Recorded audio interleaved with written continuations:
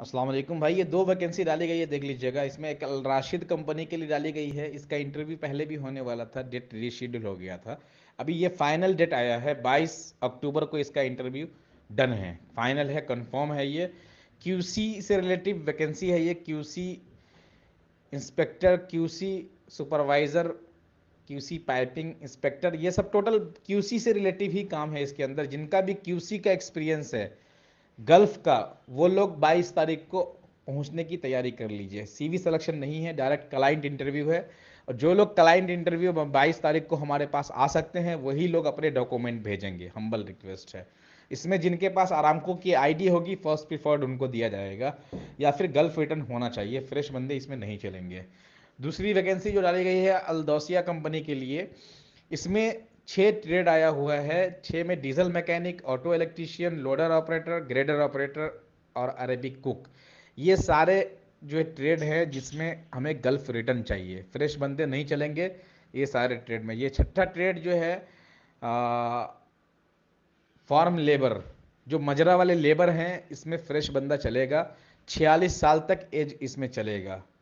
Farm में मजरा का labour चाहिए, छियालीस साल तक इसमें चलेगा अल्दोसिया में।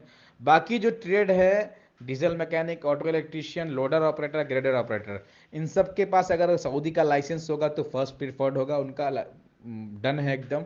और जिनके पास लाइसेंस नहीं होगा तो गल्फ का एक्सपीरियंस लेटर होना लाजमी है। गल्फ का एक्सपीरियंस लेटर अगर है उनके पास तो उनका भी काम चांसेस है नाइन्टी परसेंट हो जाएगा।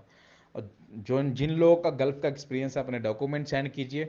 डॉक्यूमेंट सेंड करने के बाद ये माइंड बना लीजिए डॉक्यूमेंट इसी शर्त पे भेजिए क्योंकि हमारे पास पासपोर्ट होना चाहिए। अगर जिनका पासपोर्ट हमारे पास नहीं है तो पासपोर्ट की जगह पे सिक्योरिटी मनी जमा करना होगा आपको। जब भी आपके डॉक्यूमेंट आगे कंपनी को सबमिट किए जाएँगे।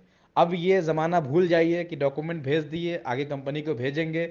कुछ इंटरव्यू होगा, कुछ वो होगा, कुछ ये होगा, ये सब कुछ नहीं। विदाउट डॉक्यूमेंट के साथ ओरिजिनल पासपोर्ट के कुछ नहीं होना है। या तो ओरिजिनल पासपोर्ट हमारे पास होना चाहिए, या फिर एज ए सिक्योरिटी मनी हमारे पास होना चाहिए। उसी का डॉक्यूमेंट आगे सबमिट किया जा रहा है।